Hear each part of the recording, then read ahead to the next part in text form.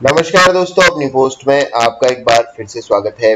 बात जब सह अभिनेताओं की चल ही पड़ी है तो आज हम आपको साइंदा इफ्तार अहमद शरीफ के बारे में बताएँगे।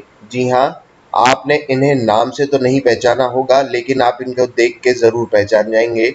इन्होंने कई फ़िल्मों में पुलिस इंस्पेक्टर का किरदार निभाया है। इसके अलावा ये सह किरदारों में कई फिल्म्स कर चुके हैं। जालंधर में पैदा हुए इफ्तिकार का जन्म 22 फरवरी 1920 को हुआ था और 4 मार्च उन्नीस में पिचहत्तर वर्ष की उम्र में ये हम सबको अलविदा कह गए। आज हम आपको इनका घर दिखाएँगे।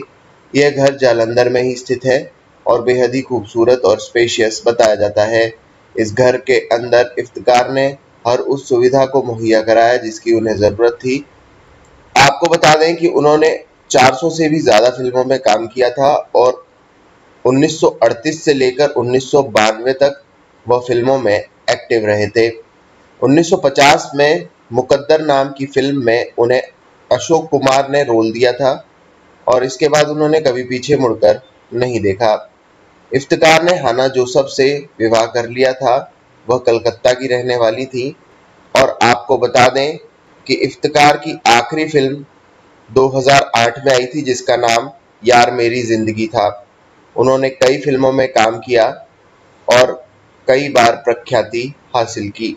हम आशा करते हैं कि आपको उनका घर अच्छा लगा होगा और आप इसे अपने मित्रों के साथ अवश्य शेयर करेंगे। दोस्तों, चैनल को सब्सक्राइब करना ना भूलें बेल बटन को ज़रूर दबाएँ। धन्यवाद।